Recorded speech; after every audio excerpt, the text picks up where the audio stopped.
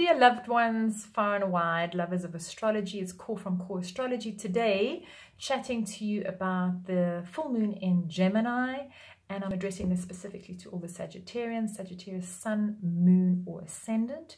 If you don't know what your sun, moon, or ascendant is, then go to www.astrodienst and pop in your chart details there, your birth details. It'll show you what your sun, moon, and ascendant sign is. If your sun is in Sag, what I'll be talking about will relate to how you express yourself, your yang nature out in the world. If it's in your Sag is your moon is in Sag, it'll more relate to your emotive internal reflective way of how you are. And if it is your um, ascendant sign, it will relate to the manifestation of your immediate environment around you.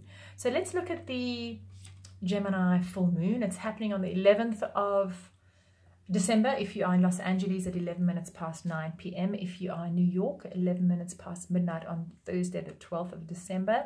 London, it'll be 11 minutes past 5 a.m. Johannesburg, 11 minutes past 7 a.m in um, Australia, Perth or Bali, it will be 11 minutes past 1 p.m. And if it's Sydney, Australia, 11 minutes past 4 p.m. What does it mean, the Gemini full moon? It means a culmination of something that started two weeks prior to this full moon when there was a new moon in your sign Sagittarius saying that two weeks prior to, to this the focus was very much on your expression out into the world, your physical body and your health and how people see you. Focus was very much on yourself. And now that it's a full moon, the focus is coming to be and culminating in the last two weeks to the point of focusing on your relationships, your one-on-one -on -one marriage partners, your live-in lovers or your business partners. The focus is very much on your, your relationships for this full moon. So um, this Saturn Pluto conjunction, which is coming to a head on the 12th of January for all of us, 2020, for you is happening in an area of your life which is related to your self esteem and to your personal finances. And there's things that you've been holding on for the last decades which have made you feel secure, which no longer make you feel secure. As a matter of fact, they make you feel oppressed and they make you feel limited. And it is now time to unravel those and detox them and let go what it is in your self-esteem, some sort of anxiety or paranoia, or some sort of belief system that you're not good enough and that's making you hold on to the old ways of how you deal with your finances and your self-esteem, but it doesn't serve you anymore. So you kind of need to let go of that. And during this full moon time, there is a Venusian energy because Venus is right between Saturn and Pluto. So this could be a, a woman uh, or somebody who's very loving, helping you to realize possibly why you've had this lowest self-esteem or where it is that you are holding on to things in the old way and not letting go to unravel and move forward. And this person, this feminine energy will help you through their interaction to actually see these things so that you can let go of things that don't work for you anymore and so that you can move forward. This could also be somebody who's an artist because it's Venus.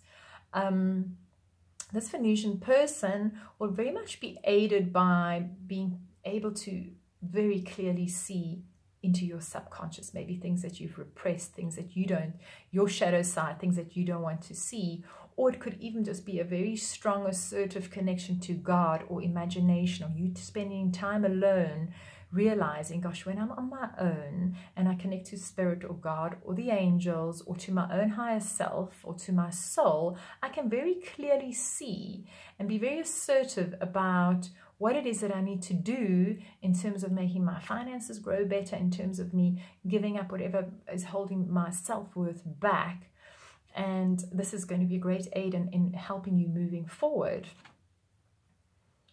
There is inspiration that comes from your family life and your home life. Something about your inner, deeper psychology and your sense of security about family life and home life is pointing out because Neptune is in this area in, in, in your life at the moment that it's time to dissolve things, not to have boundaries, to be more romantic, to be more creative, to play more music in the home, to do more art in the home, to have more of a higher connection to spirit and, and soul and your own um, higher self that will help you sort of unravel these things that you might be hiding or secrets that you might have um, where you like to be isolated or alone and you want to connect to spirit or do things on your own, um, the secrets that might be unveiled or um, a connection to God that you might see is going to help you in matters related to your family and home life. And it's important that you have a really strong vision about what it is that you want for home and family life with Neptune there making this beautiful trine to Mars, um, saying in terms of how I connect to the collective, um, I really want to create this visionary, beautiful, boundaryless, romantic kind of home life you might feel confused about it, or it might feel like an illusion or a deception. But actually, what it is, is you letting go of things so that you can actually reach a higher level of connecting to what it is that you understand family life to be. And this might need to might need you to connect to your own shadow side or secrets or things that you don't haven't discovered about yourself. And this is a fabulous time for you to be doing this. The energies and the, in the planets are really good to encourage this kind of insight into the into the, the deep soul that you are.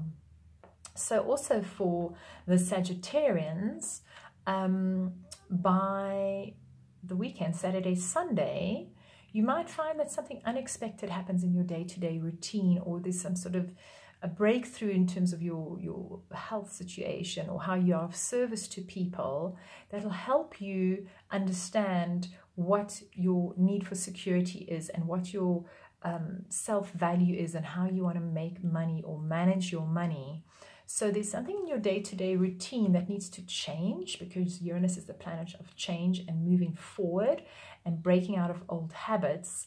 And this will become clear to you by Saturday, Sunday, where you'll say, oh, okay, I break this old habit, or I have this new way of being inventive or innovative about matters related to, to diseases or health that'll help my self-worth and help me financially. So, dear Sagittarians, enjoy the relationship focus, and I hope that what I've shared with you will assist you for the full moon. And thank you so much for watching this video. Take care, be blessed all, all the best to you. Take care. Bye.